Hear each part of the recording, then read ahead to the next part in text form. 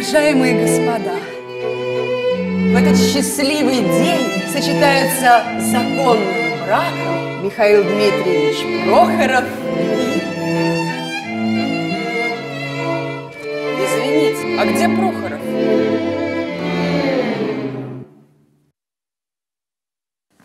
Прохоров делом занят.